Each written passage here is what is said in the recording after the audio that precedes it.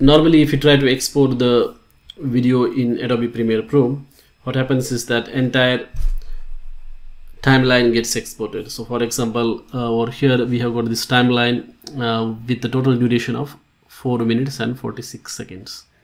So if I go to file and then export media you will notice that the duration is here 4 minute 47 seconds. Okay and now uh, what I'm going to do is that I let us say I want to just export specific portion of this particular clip. So what you can do is that you can use the mark in and mark out tools. So basically uh, let us say I want to export starting from this point. So just take the marker wherever you want to start and then right click then click on mark in.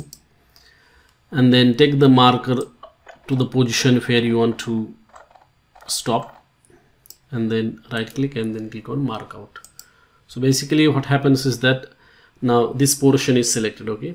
Only this portion is selected. So now if you do export what happens is that only that section will be exported. So if you go to the export and then media now you will notice the reduction in the duration. So you can see that now the duration of this ex export will be just 5 seconds okay and also the estimated file size is very less that is 6 MB only. That's it. That's how you can export only the selection in Adobe Premiere Pro. Thank you for watching